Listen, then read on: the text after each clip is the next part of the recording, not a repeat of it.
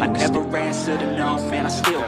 Lucas Langarita es élite. El Maño dejaba este martes su mejor partido con la camiseta del Casa de Zaragoza, siendo el protagonista de la victoria en la Europa Cup frente al Pardubice. Una victoria que les coloca un partido de estar en la fase regular de la competición. Vamos con el partido. Lucas salía a pista al final del primer cuarto, con dos puntos abajo para Casa de Mon. En la primera jugada del segundo cuarto lograba sacar la falta personal al tener que jugarse el uno contra uno cuando se agotaba la posesión. Langarita se mostraba infalible desde la línea personal, 2 de 2 para él.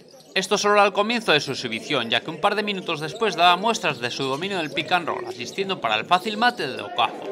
Después, una gran defensa, leyendo la línea de pase, le permitía un fácil mate a la contra. Buenos minutos en esta primera mitad para un Casa de Mon que no lograba despegarse en el marcador. Ya en el tercer cuarto, Lucas empezó su show saliendo a pista en los tres minutos finales y enseguida anotando desde la media distancia para rebajar la diferencia a 5 puntos. El último cuarto fue suyo de principio a fin, el balón pasaba siempre por sus manos y Lucas asistía para dos triples de Thomas Hielo en el inicio del cuarto.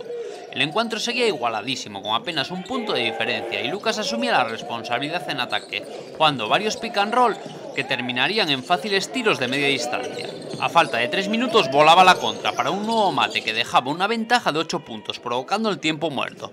Pero el partido no estaba ganado. Pardubice anotaba un triple y Zaragoza fallaba la posesión. Lucas, muy atento, lograba un nuevo robo.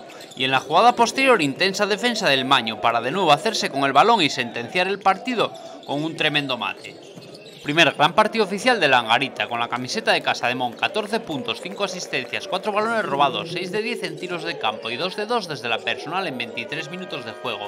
Hoy se jugará ese segundo partido de la fase previa a las 7 en Zaragoza. El partido se puede ver gratis en el canal de FIBA de YouTube. Os dejo el enlace en comentarios. Gracias por vuestro tiempo, like, suscripción y campanita ayudan a crecer el canal.